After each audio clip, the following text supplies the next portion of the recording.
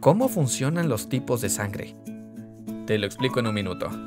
Ahora que ya sabemos cómo está compuesta la sangre, podemos centrarnos en los glóbulos rojos, los cuales pueden tener dos tipos de antígenos, el A y el B. Estos son los que desencadenan la formación de anticuerpos ante algún elemento extraño que entra al organismo. Los que tienen el antígeno A son del grupo sanguíneo A, mientras los que tienen el B son del grupo B. Quienes tienen ambos son del grupo AB y quienes no presentan ninguno son del tipo O o cero, que significa cero antígenos. El factor RH se refiere a una proteína integrada en los glóbulos rojos. Cuando está presente, se agrega RH positivo al tipo de sangre, mientras que si no lo está, es RH negativo. Aunque se suele omitir el RH y decir simplemente positivo o negativo. Con esto se hacen las combinaciones para los grupos sanguíneos. El exodia de estos grupos es el ABRH positivo, que tiene tanto los antígenos A y B como la proteína del factor RH, por lo que puede recibir sangre de cualquiera de los otros grupos a diferencia del O negativo.